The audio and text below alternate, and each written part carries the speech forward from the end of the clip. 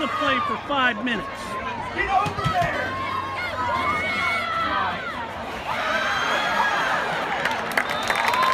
And number the change will be another great